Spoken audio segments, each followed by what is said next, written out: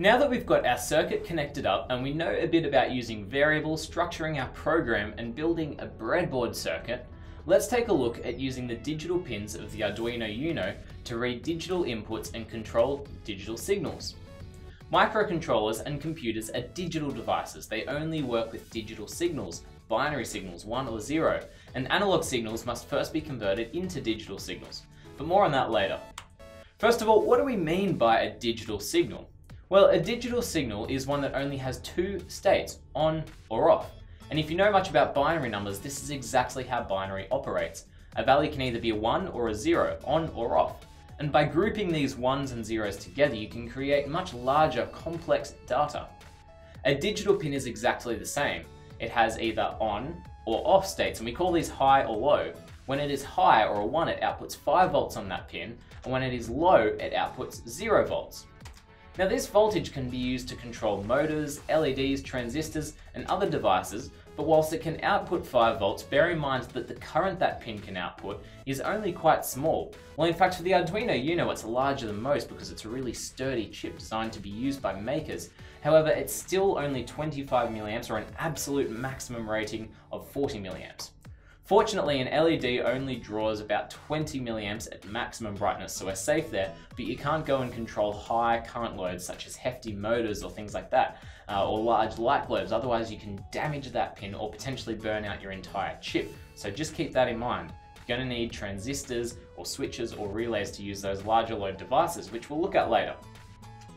A digital input uses the same concept, only in reverse.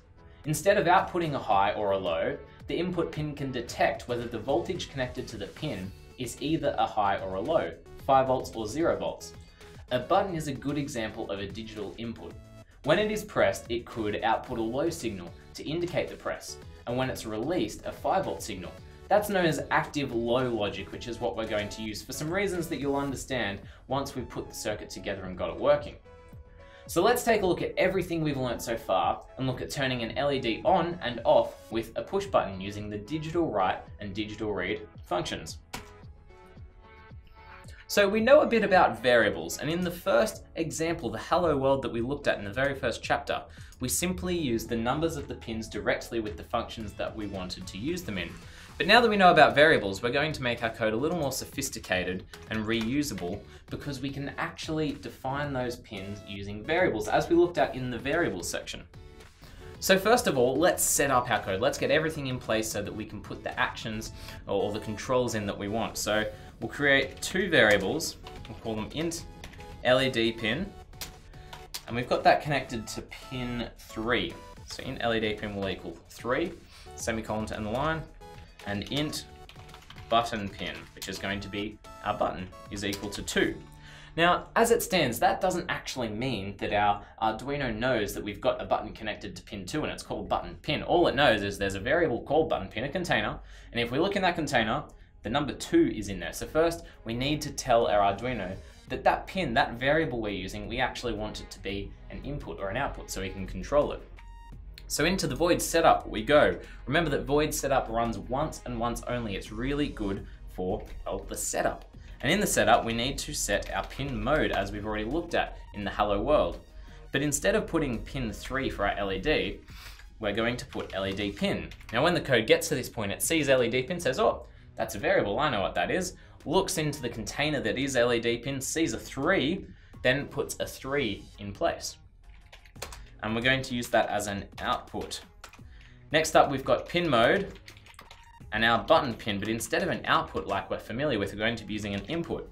And we're going to be using a special type of input, something you might not be familiar with, and it's called input pull-up. Now, what this does, we're gonna need to take a look again at the whiteboard to properly understand this. So here is the schematic circuit that we drew in the previous section to understand how our circuit works. And you can see our LED and our button, all well and good, except we're going to be using input pull-up, not just input. Because a standard input pin on the Arduino, when you declare it as an input, it's actually highly sensitive and will respond to static changes in the air, uh, random transient voltages that are happening on your breadboard, things like that. And so you're gonna get a really uncertain signal, which means that when the switch is open, that's all the circuit is. that pin isn't actually connected to anything. It's just an empty wire hanging around for all uh, the Arduino cares. There's no set voltage on it, so it's going to be floating. And if it floats between the threshold that is the on or the off, you're going to see the value of the input on that pin fluctuate and be, oh, one zero, one, one, one, zero. It's going to alternate and it's going to be really random, which isn't good.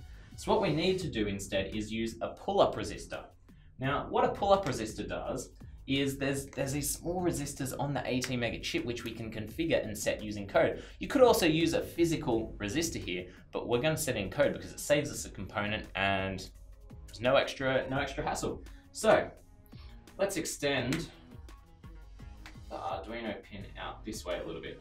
Now what a pull-up resistor does is it connects a resistor, funny that, to the pin, right to the input pin, and it connects that to 5 volts.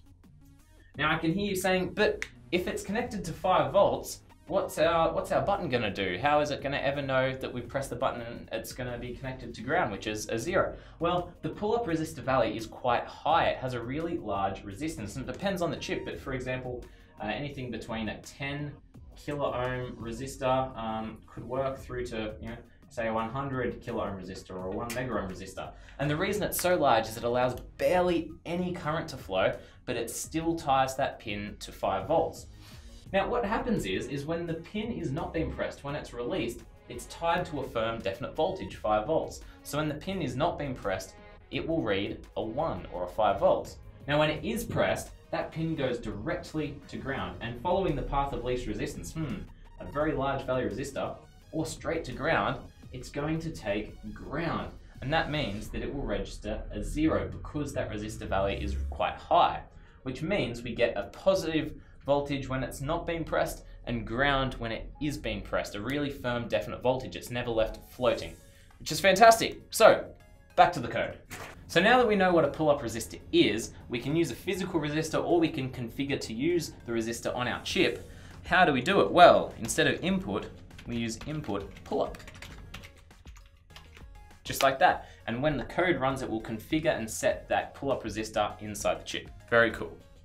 So now that we have our pin set up, we've used two global variables for our pin definition. Now we're going to go into the void loop. And the goal here is, you can see that I've got this working on my circuit here, is that when we push the pin, it will turn off. When we release the pin, the LED will turn back on again. Now the reason for this, as I said, is because we're using active low logic, meaning that when we activate the switch, when we do something with it, it's a zero. And when we release it, when it's not active, it's a one, which is a little bit inverted for the intuitive way of thinking. But by doing that allows us to use a pull-up resistor inside the chip. Now we could also get an external resistor and use it as a pull down resistor, flip that schematic that we were using, but it introduces an extra component and it's not needed. Active low logic works very well and is usually standard for things like buttons because pull-up resistors are standard on these chips. So we have our pull-up resistor. So how do we do this? Well, as with most challenges or goals in programming, there's lots of different ways you can do it. There's no one set approach, but we're going to look at what I consider to be the cleanest, most efficient and easy to understand approach. Now that we've got the setup of our code ready to go, we've got our global variables for our pin declarations, uh, we've got our pin modes all set, we're going to make it do something. Now the goal is to turn the LED on when the button is not being pressed and off when it is being pressed. And the reason why this is really easy to do is because our button uses what's called active low logic, meaning when it's being pressed, it will output a zero because when it is being pressed, it will connect the pin to ground or a zero. When it's not being pressed, that pull-up resistor will tie it high. So we can also invert that in code, but for now, let's keep it really simple. There's gonna be lots of ways to do this in code. No one way is the absolute best way, but gonna, we're gonna look at a really simple, really modular and easy to expand method using a local variable. So the first thing inside our void loop, which is going to iterate over and over again, is going to be a variable declaration. We're going to create button state, and we're going to use that to store the state of our button. Now, we're going to be using the method called polling, which means rather than triggering only when the button is pressed, our loop's iterating so quickly, hundreds of thousands or millions of times per second, just going over and over and over again. So that many times per second, it's going to check the state of our button and do something with it. Really clean, really efficient, easy to use. Button state is going to be equal to the state of the input pin, so we can store it. So we're going to use digital read. Now you can see that digital read, as we've mentioned before, follows the same formatting and syntax as our variables.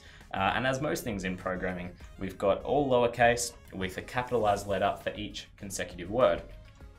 Now digital read only takes one argument, one thing inside the brackets, which is the pin we're reading from, which is going to be button pin. Put that in there.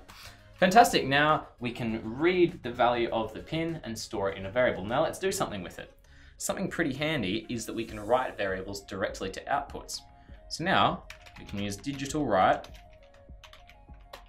then we're going to be writing to the button pin. It takes two arguments, two things inside the brackets, the pin that we're writing to and the value that we're writing it, a high or a low. So LED pin. Now we're going to use the variable button state.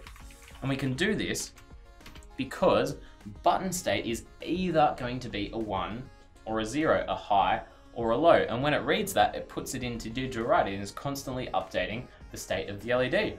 We've got our semicolons to finish off all the lines. Now make sure, as we've covered already, that you've got the correct board and COM port selected and hit upload. It will ask you to save it, so let's call it button LED test. And it'll compile your sketch, make sure there's no errors, and if you do get an error, it'll come up in the debugging area in orange. Otherwise, it'll go straight to uploading and give you a success message. And the LED turns on. When we press the button, the LED turns off, and we release it, it turns on again. A nice, simple momentary switch.